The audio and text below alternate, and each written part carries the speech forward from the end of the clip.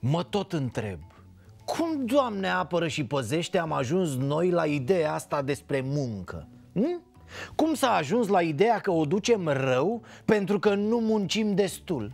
Ne-a spus doamna Dragu de la Finanțe să rămână doamnă că e bine să nu cerem bani mai mulți Am înțeles Bă, nu cerem bani mai mulți, că pleacă firmele de la noi Se duc la ăia dispuși să muncească pe 2 lei E, dar nici așa nu e bine, frate, nu?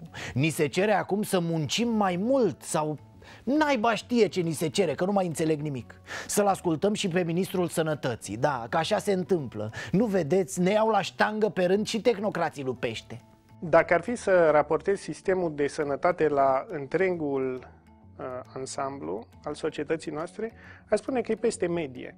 Dar atunci când criticăm, și asta e o chestiune care cred că ar trebui să o, să o judecăm mai mult înainte să o facem. Cred că ne este foarte ușor să criticăm fără să ne uităm la, la noi înșine, fără să vedem la ce ne raportăm. E foarte ușor să uh, te raportezi la un sistem foarte frumos, de altfel, pe care îl vezi la televizor sau citești în, în media despre el și la niște performanțe extraordinare, fără să te gândești cât costă acel sistem.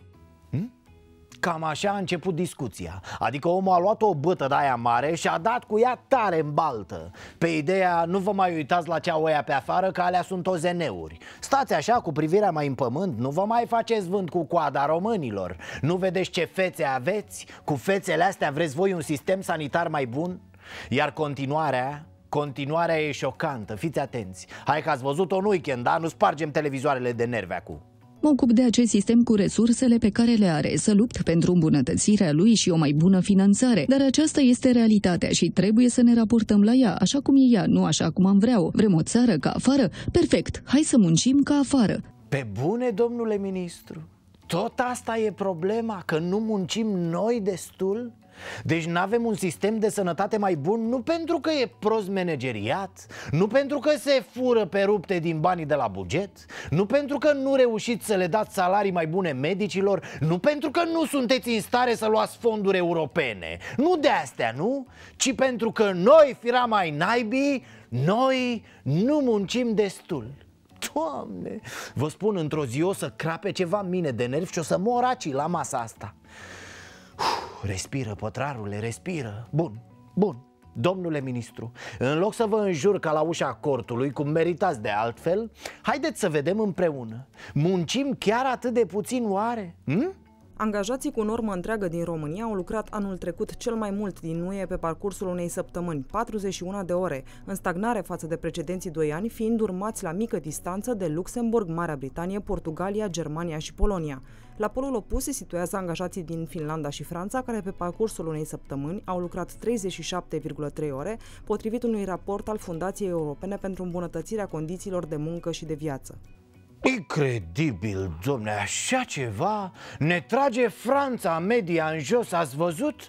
Putorile alea din hexagon Bine, nu are sens să vă spun că românii ori munci ei mai mult Dar sunt plătiți cel mai puțin Dar vă rog să nu vă treacă prin cap să cereți bani mai mulți Doamne ferește Vreți să ne fugă investitorii? Nu se poate așa ceva a, domnul Achimaș, așa-l cheamă pe domnul, nu? Domnul Achimaș, să mai știți ceva Dacă am avea salarii mai mari, atunci și contribuția la sănătate ar fi mai mare Dar dacă muncim mai mult, ne îmbolnăvim mai repede, domne Auzi, șeful, luați dumneavoastră interviul ăsta, mergeți acasă și veniți cu el corectat, da? Nu că băieții ăștia vor veni într-o zi să ne spună Bă, nu doar că trebuie să munciți mai mult Dar toți voi trebuie să vă dați și salariile Și să nu fie mari, să nu se sperie investitorii, da?